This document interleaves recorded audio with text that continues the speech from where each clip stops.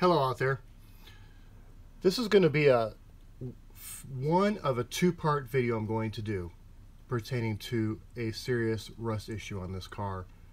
This is going to be a quick video. My second video is going to break it down in extreme detail where I can prove that these rusted suspension parts are not from transportation or normal um, surface rust. So for the naysayers out there, the people that don't believe what I have to say, save your comments for my second video where you can see the information in detail and the proof that I'll use. When you buy an expensive car like this, $93,000, you're not going to expect rust issues. You're not going to expect that you're going to see things like this on your car. This is not something that, that anybody is going to expect. And if anybody thinks this is okay, that it's normal, this is not normal. That's not surface rust on a, on a nut that won't come off that bolt without deteriorating it or putting stress on it or causing a further problem. Definitely not years on down the line. This is a serious issue, and I want to bring light to this issue you know, I, am not looking for trouble from cars I buy. You know, I'm putting rock guards on my car, and I notice this, notice this stuff staring at me here. So people need to be aware of this. You know, people need to see what's being put on cars because I promise you, that's not surface rust. That that is years of accumulated rust on that bolt right there. That's not surface rust from transportation. This is not a front suspension that was brand new put on my car. This is a front suspension that was sitting out somewhere exposed to elements, even accelerated elements for a long period of time. And, and I'm going to go into more detail in my second video. So if you want to make a remark, you want to comment, and you don't want to agree with me, that's fine. Save your remarks for my second video where you can see the proof that I use. Okay? This is not normal stuff. Sorry. That's not transportation rust from, you know, rain or salt. How did it get all this is upper control arm bolt. How did it get up there? Okay? Sorry. Not going to buy it. Not going to buy it. Definitely not going to buy it. I mean, I mean, look at that. Look at the amount of rust there. You know, do you think this bolt right here is surface rust? What about that crack? Do you see that crack right there? This is my lower spindle bolt that holds my lower control arm.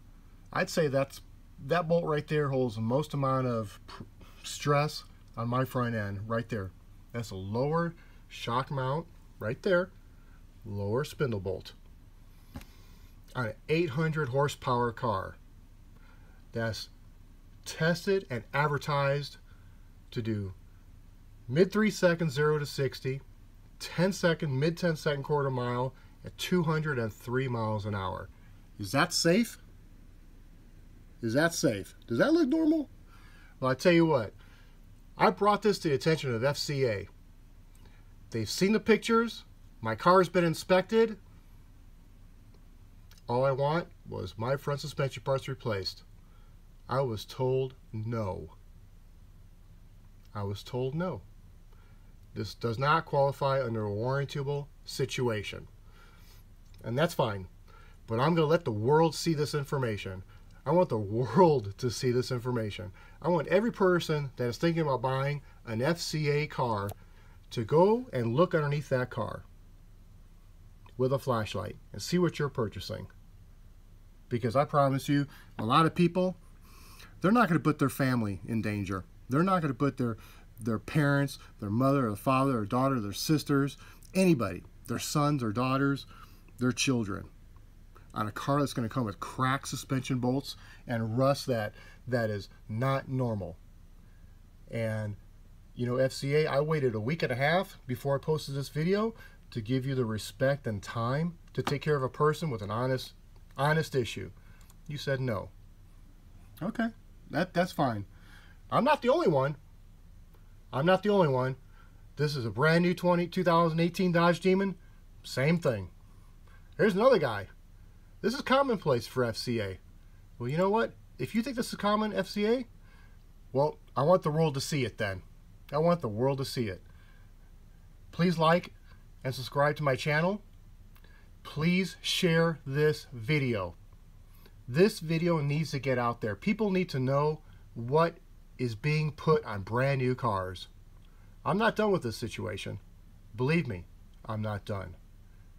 But I do not feel this is right. I do not feel this is normal. And when you got crack bolts like that, and FCA looked at the pictures in the car and they say, sorry, well, you know what, FCA? I'm sorry too.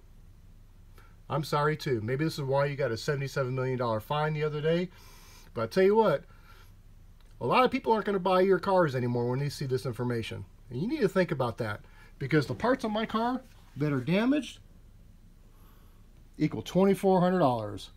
And if you feel it's not worth $2,400 in someone's safety, then I hope this video goes viral. Help me let this video go viral. Thank you.